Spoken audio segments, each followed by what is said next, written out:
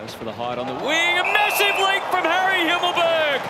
Exalted heights stands to attention and drags down a magnificent mark. There's your mark of the year.